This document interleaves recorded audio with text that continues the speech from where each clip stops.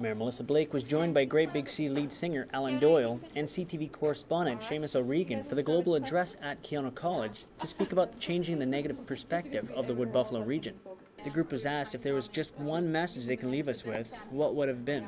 Great Big Sea record coming out. uh, I think we can all agree on that. I was going to say be authentic ambassadors, but you know, Great Big Sea works. Authentic Well, and they are. Ambassadors? Yeah, Would you 20th guys agree with anniversary. that? I, I, I always say the same thing about that kind of thing is like, love the place you're from and, and don't be afraid to tell people about it. That's all. Ditto. What, what uh, made you, I guess, take ownership of where you're from and decide to be a, a positive representative for it, or for the place?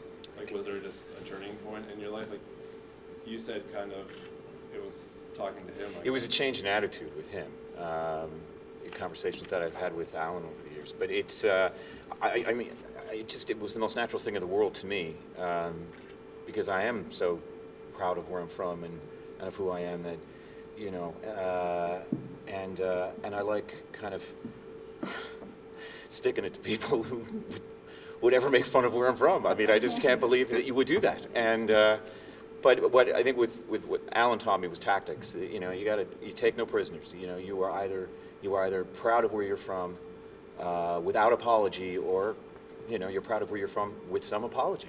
The two well known celebrities spoke so positively about their visit to Fort McMurray, and Mayor Blake couldn't have been happier about their feedback. I got to tell you, having these gentlemen here and sharing their um, impressions for having come into McMurray the times that they have, um, it makes me feel insanely privileged, and I mean that sincerely, to be the elected representative that gets to share a stage with them. But while I was listening to the questions that were coming and the answers that we were getting, it's not just a privilege to be the mayor here, it's a privilege to be here, period. And we tend to forget that because of the dark shadows that are cast upon us. But there's no place on earth I would rather be. And I think if people start embracing that and living what we were talking about here on stage, um, again, you're just going to see for generations to come incredible, wonderful things. But you got to move past the dark shadows. For Shaw TV, I'm Craig Momney.